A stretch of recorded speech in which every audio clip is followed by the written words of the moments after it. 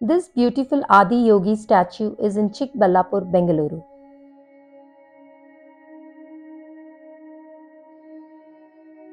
Hey everyone, welcome back to my channel. Today we are here in Chikballapur to witness this beautiful Adiyogi statue, which is located 70 kilometers from Bengaluru and 15 kilometers from Nandi Hills and 45 kilometers from Kempegowda International Airport. You can reach this place by your own transport, but the roads are not in a great condition as the construction of this place is yet not completed, but it is open for all the visitors.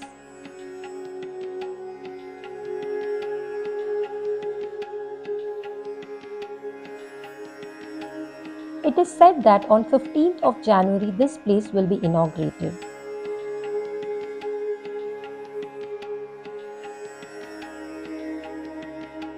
It is a place where you can experience a spiritual feeling with the nature all around. It's situated at the center place where hills are surrounded with.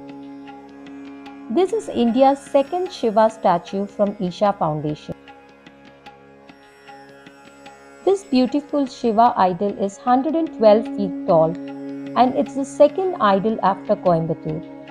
This place is located in outside the city and no shops or restaurants are available nearby for now. So if you're visiting with your kids, make sure that you carry snacks and food while drinking water is available there.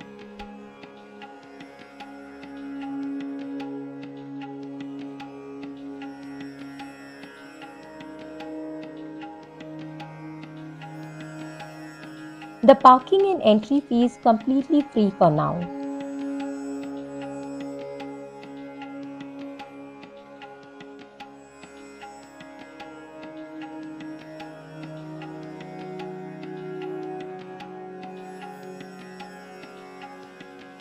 Next, we are near Naga Pratishta. This place is for Dhyanam. And just behind Naga Pratishta is our Shiva idol. For now, entry was restricted. Only after 15th of January we are allowed to go in.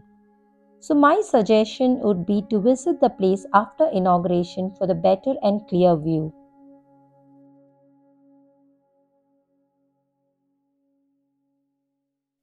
So do visit this place with your family and friends. Thank you. See you all in my next video.